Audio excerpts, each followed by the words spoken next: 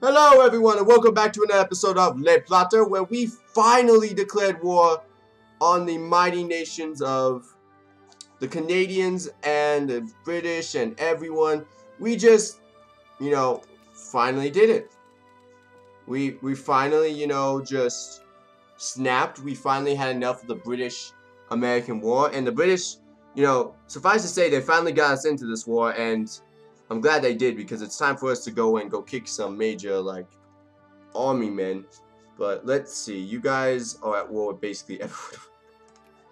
Have fun with that. So yeah, we are basically going to now going to go attack a lot of different places, and hopefully my vassals, the war is upon us. Yay! Hopefully we won't die too horribly, or my Indian vassals. Wow, you guys are dying really horribly. Luckily, you guys are my vassal too, so and it's a good thing you guys will be cut down to size a little bit because I don't want you guys to become too big. But yeah, it seems like we're now at war with even a bigger state than I expected. Um, they're moving in with tanks like literally, legitly quickly. So I'm gonna try to I'm gonna try to save my African friends, but ooh, it's gonna be hard. Okay, yeah, you see what I mean? It's like they get tanks, but I don't get tanks. Okay, and let's see. We have no attacks over here. I'm to go use this army to go crush these British soldiers. We can basically take out most of the British army. You know, we're to do some island hopping, defeat most of the British around here, and take it from there. We can. My vassals will be able to defeat most of the ships around this area, which is to be nice.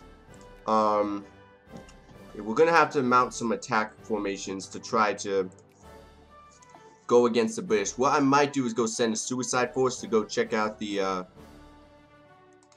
well, oh, Scandinavia, you're in this war too? Huh. Okay. That's interesting. So we have literally as many people as we can get in this war right now. So literally we are all fighting this, trying to stop the British from expanding. Well, I love this. like, I'm not against this. This is actually pretty cool. If we can stop the British from expanding, that'd be nice. But the only chance we actually have is What are you guys at war? Sure, yeah, I'll join that. Yay, white peace. Okay, um, I have to, we had to start figuring out how much it would take to actually land troops and coordinate an attack. Let's see, we have our transports here, gonna go save our little troops over here. And let's see, because I, I basically associate my African provinces are gonna die. We're gonna go take over Jamaica, because we can take over Jamaica. And we're basically going to do a prolonged attack to try to start getting the British slowly but surely out of different areas. And right now we have a couple different theaters of war. We have, because this is basically a world war. We have the American theater, which we have to we have to secure very quickly. We have to make sure there are no more British ships right next to our coastline. And we basically control this area by force. Okay. Next what we're going to need to do is we're going to need to go directly to the Brit the Britannian Empire Theater. Hopefully we'll be able to control this area, but most likely not because we have a 62 ships like literally right there off the port. Maybe the Scandinavians will be able to deal with that, but probably not. And then we also have technically, I guess, the theater over, over here in Asia, but um, my my vassals kind of got overwhelmed in almost the quickest succession of war I've ever seen in my life they don't look like they're going to live very long. But at least they actually tried, and I am very proud of them for trying. Okay? I'll give them that. Okay? But, let's see, we have the ultra liberals back in power. That's good. That means we have a good bonus to our economy. And, let's see. We're going to soon be able to start producing our tanks. Which is going to make me so manly happy. I can't even say it. Okay? We're getting our troops right on to Jamaica. Uh, yeah, we basically control the Caribbean right now, which is good. We'll our troops onto Jamaica, conquer Jamaica, that way we have a little bit more of a foothold. And we have to start canceling out the amount of reach the British have on us. Seriously, we can't make we can't get them anywhere closer to us anymore. Let's see. We're gonna be my Colombian viewers are going to well not Colombian viewers. The Colombians are gonna invade that place over there, so that's gonna cancel out them. Um let's see. You guys get on your ships again. Okay, we're just going to go kill off all of the British troops around the Caribbean, or British outposts, I should say, around the Caribbean. And sending my armies everywhere to go protect myself, attack. And let's see, do we have any British troops already landed on our borders? Because we can fight British troops. Our army's big enough, but I preferably don't want to. Holy moly. How many, how many men do we have right there? What the heck? Okay, nah, nah. Oh, it's only two, okay. I was like, what the heck? That's a lot of men. Okay, as we can see, American troops, American ships are already starting to get a little bit more daring and getting more and more out of their ports, which is what we need to do. We need to make America start getting out of their ports, because, let's see, ledger-wise, let's see, who has the biggest ships? Um, Japan, United States. United States has bigger ships than, than the British do. The British only have 72 ships, which actually, where's that 62 ships? It's right over here. If 62 ships, that's the biggest they have. Um, they also have 108 men on the main. Dang it. This was going to be my main attack force, but apparently they actually have an army over here. That kind of stinks. Okay. Um, okay, so a mainland invasion's going to be harder than we thought. That's all that means. Okay. You guys get off of the main continent. Go send our ships back over here. Okay. And I don't think we're going to be able to upgrade all of our naval bases in time, but if we can get some of them, I'd love to build some dreadnoughts. Dreadnoughts would be really nice. Okay, let's see. We're going to go invade some more of these islands over here off the coast. Get more of this underneath our control. Because like I said, if the British actually have a good, decent army in Ireland, Ireland was going to be my kind of sneaky attack, if I could get that. But since they actually have a decent amount of troops there, it's going to be really hard to fight this war. But we're gonna what we're gonna do is we're gonna try to at least corner some of these men and start getting America to try to take more risk and go attack the uh, British more directly. Because if they can destroy their navy, then the then the British become a, basically a vessel of their power. Plus, if we can like take over like places like is New Zealand in this? Yeah, if we can take over places like New Zealand, we're basically golden. America somehow is losing to Malaysia. I don't understand how that's happening, but I'll accept it because weirder things have happened. You guys are completely crushed. My Indian vassals are completely crushed. But good thing about this is that there'll be lots of rebellions, which is what we need. Okay? And let's see. I'm going to keep an army over here because I feel like I'm going to get revolted a lot. Like, a lot. Like, not just a little, but a lot, a lot. Okay? I'm sending my troops. My 13 transports are coming back completely leaving Africa to its own demise. Maybe I'll go fight Africa in a couple years, but it's basically gone. Let's see. Scandinavia basically has an army. Uh, Russia, Germany. Oh wow. So Germ, you guys are no. Germany and Austria are at war with each other. This is going to be that's a very interesting war right there. The fascists versus the Soviets. I'm glad they're going against each other right now because that makes it way way, way less about me right now. I'm glad they're not allies, because that makes it much easier for me to go kick their butt in the future. Okay, you guys get back on the ships. You know what, actually it's much quicker. What am I doing? It's much quicker to do this. Go right here. Boom. Wait. Boom. And get on the ships, and then go right here. Yes, we're just trying to... We're just trying to slowly start to kill off all of their connections that they have to this land which we are slowly starting to do. And let's see, my vassals took out the rest of the Guatemalan uh, people. I'm pretty sure we can't add any war goals because otherwise it would help. Oh, I can? Okay. Okay, install democracy. No, no, no. I'm going to add a war goal. That way we can start getting war score. Let's see. Let's see. What region is this? It's the uh, Ghana region. Okay. Add a war, add a war score of acquire place is a is it Ghana, Ghana, British Gambia, North Cape? You know, we can actually get a lot out of this now that I'm looking at it. Uh, British Kenya, Lower Madagascar.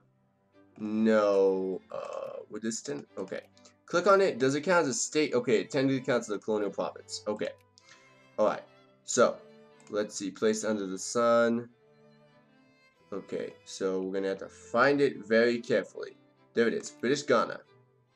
I'm going to take the infamy here because we need to start with war score. If we can start getting war score against these guys, that means we automatically have a couple different, you know, things being added to us every single day, which is exactly what we need.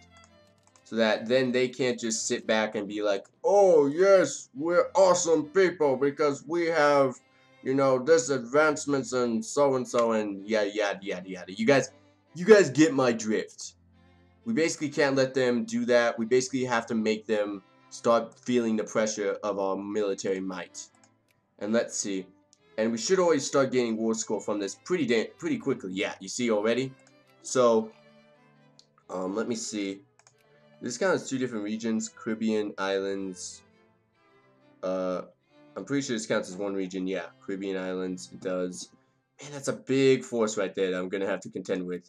Um, I'm just thinking right now. I'm gonna have to contend with that eventually, but it's not very nice to think of. Let's see. You guys count something else?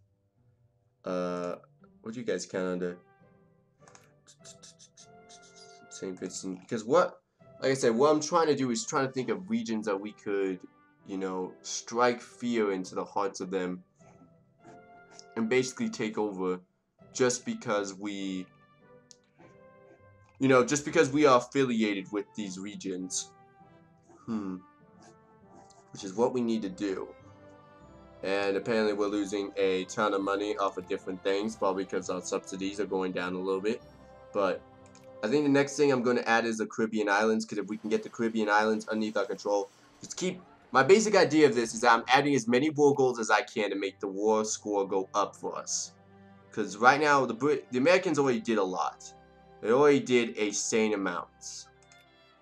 So all we need to do is just strike fear into the hearts of them. Oh yeah, the Falkland Islands.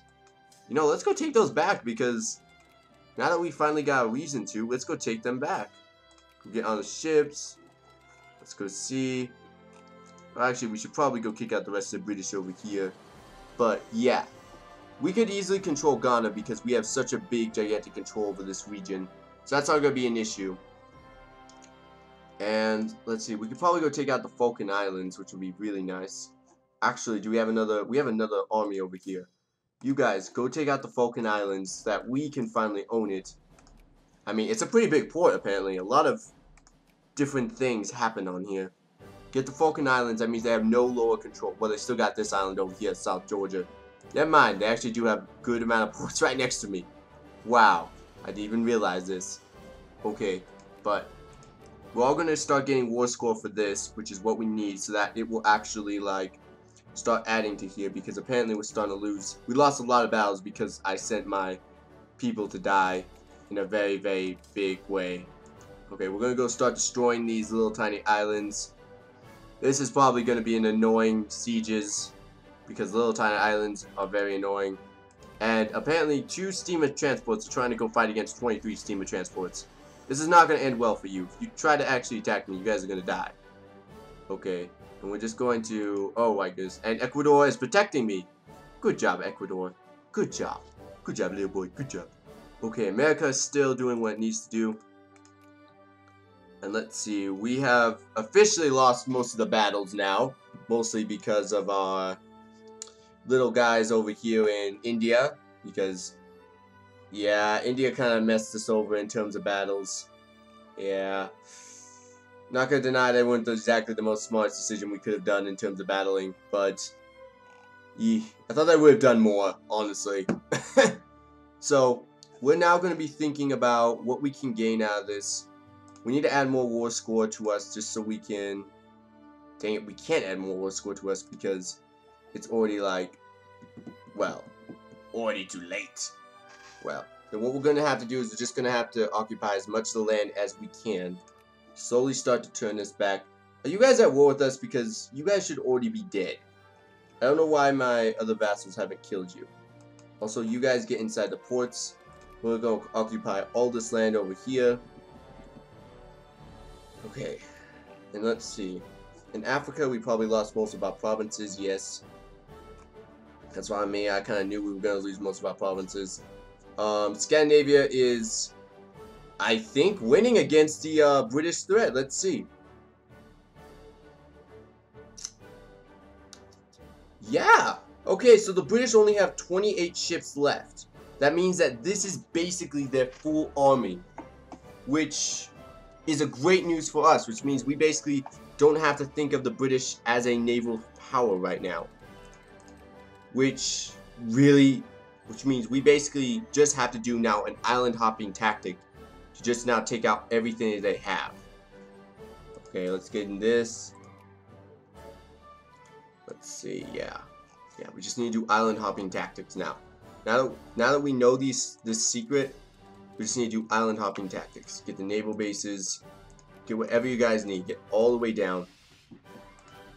Also, since this is the end of the game, I really don't care. 71%, 71%, 71%. There we go. Yeah, my economy can take it. okay, and we have our... Oh my goodness, almost built it. Almost built it. Once I build those things, it's gonna be awesome. Okay, let's see, we got these guys dead. Okay, go back over here. Go destroy the last little bits of the island over there. Alright. Yeah, we're gonna, we're just basically kicking them, we're kicking them out of here first, and then once we kick them out of here, we can start dealing with the rest of them. But we first have to kick them out of here. And they probably win a lot of our battles. Wow. We're losing because of that stupid... Okay, note to self. Don't ever invite the Indians. They just may have lost this war. In fact, India, please stop fighting. You guys have basically lost us a ton of resources, manpower, and a lot of other things. You guys have basically cost us a lot. You guys don't also reinforce your men either. We, like, like, like right there. Reinforce your men. Reinforce your men so that they can live and that maybe you guys can actually fight. Oh my goodness. Well, hopefully this might end in a white peace, which actually might be what we might have to actually get out of this war because of stupidity reasons, but hey, at least I brought the end to the war. It wasn't exactly the way we wanted it to be, but I brought the end of the war. Let's see. And I'm just, I'm just conquering all these little tiny islands. Making sure. We will ally with Germany? What? Huh? How did I get an ally alliance with Germany? We weren't exactly friends with the Germans like a couple seconds ago. And I definitely don't think I'm friends with the Germans right now. What the heck? How'd I get friends with the Germans? Okay, that's really weird. I don't understand that, but okay. I just somehow became friends with the Germans. That's... Huh. Yeah. that's really something that happened in this game. But we are conquesting... Let's see. And then we have all those islands I have to go conquer. Yay! Go conquer all these islands! Guamla, Venmint, St. Vos, Babos. You're gonna call me into your war, and I'm gonna have to say no. Cause I ain't... I'm not fighting all these different nations. I'm not fighting Austria, and I'm definitely not fighting them. No. Sorry, Germany. No. I'm not. I don't even approve of you guys. So don't even think I would come in. Okay? Honestly, I don't even like you guys. Like, I, put it bluntly, I don't like you guys at all. You guys are not my favorite country to visit right now. When it comes to, you know, embassies and stuff. Okay. Over here, though, we are losing badly. Wow. Okay. I'm going to see if I have individual war score enough. They would not accept this off. Okay. Yeah. Well, at least the good part is that these guys are almost dead. I think. I think Mysore is almost dead. I really don't know. These guys kind of killed themselves. I, that, like right here, they could easily send us 82k to go defend themselves and go save themselves a lot of different turmoil. May be able to fight the British, but they aren't doing that, which is annoying me to no end. No, I'm not being called in by anyone else in this war. I have been allied like six times, and that has ended up in tragedy. Okay? Let's see. We're going to be conquering all these little tiny islands over here too. Let's see. And the American war to dismantle the British Empire just became a great war because who the heck joined in? Who in the great powers list of almighty great powers joined in on their side? Let's figure this out, everyone. Somehow this has morphed into a great war. Who? Germany.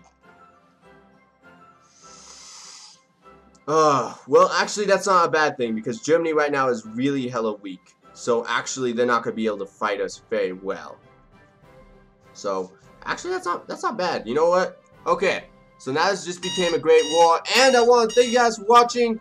This has been a really great episode where we just realized that the third Great War has started in very much good old fashions. It's the fascist, the two fascist countries versus America, the Americas. We will see who wins in the next episode. So, see you guys then.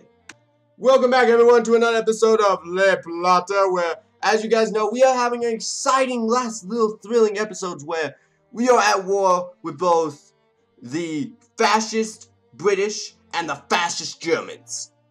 Luckily, the fascist Germans are being defeated right now. But, yeah, we are at war with both of them, which means we now have an ample cause to go to fight everything and just destroy everything. Basically, what I'm saying is that we are going to be going to war severely. Because we need to start winning these battles and start winning this wars. Because now we're in a great war kind of mentality. And really, we wouldn't be losing the wars, and I honestly don't think this, we wouldn't be losing the wars if it wasn't for my little vassal over here, which it really needs to die. Like, it really needs to finish off the rest of its troops and don't come back. Because right now, it's all it's doing is costing us battles, which we're going to have to win back eventually, but yeah. Anyways, we are now in a great war status, which means we're going to have to secure ourselves severely because I definitely don't want to lose this, especially at this close to the end of the game. I definitely don't want to lose these great wars. Let's see, are we building our tanks yet? I thought our factories... Yes, okay, my tank factories are built. We can build tank factories. Okay? Subsidize everything. But, yes, this is... Oh, you guys be shooting. Okay. You know, that just stunk because now we just lost like